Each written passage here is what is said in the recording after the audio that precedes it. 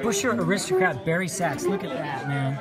What a beauty. Right under the E flat arm, right under the C sharp arm, just arched up like that. And it gives you the G sharp as well.